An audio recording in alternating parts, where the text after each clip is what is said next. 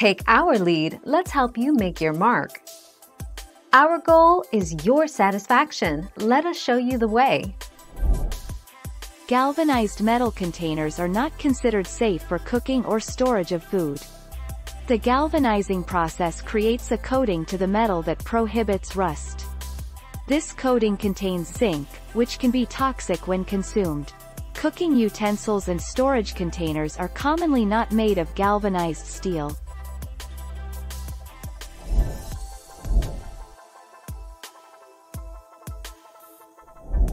Make your mark, take our lead.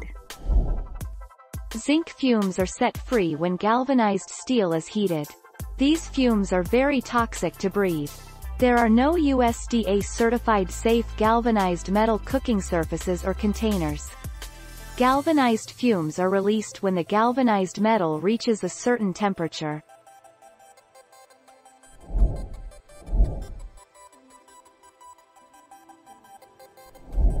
Make your mark, take our lead. As a general rule, higher quality BBQs have either steel, cast iron or a combination of both. These grills are easily maintained and are very durable, typically lasting for many years. And if it's heat you're looking for, either cast iron and stainless steel are your best choice here.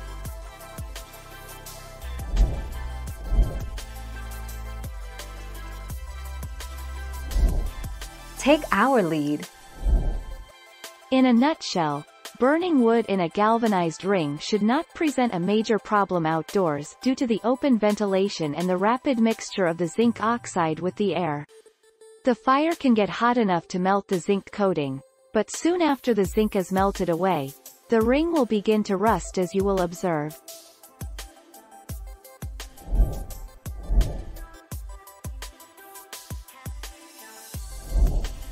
Take our lead.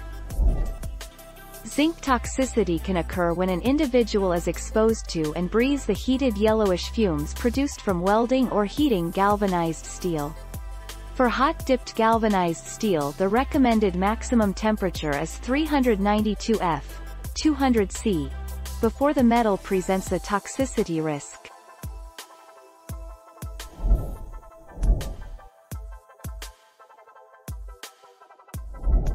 Let's help you make your mark.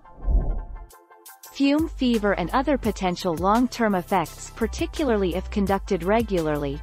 If you can't remove the zinc by other mechanical methods, e.g. sanding or grinding, and heating, burning is the only way. Do not breath the fumes. Zinc fumes are set free when galvanized steel is heated.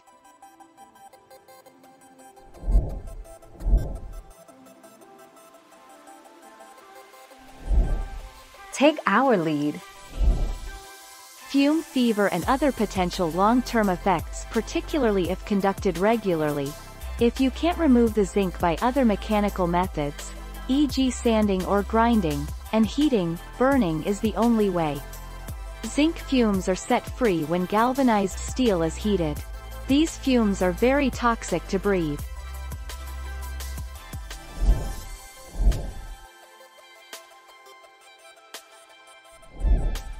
Take our lead. Fume fever and other potential long-term effects particularly if conducted regularly.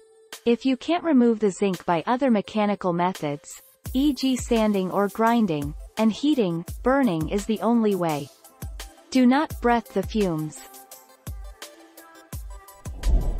Thank you for watching. Please subscribe and hit the bell notification.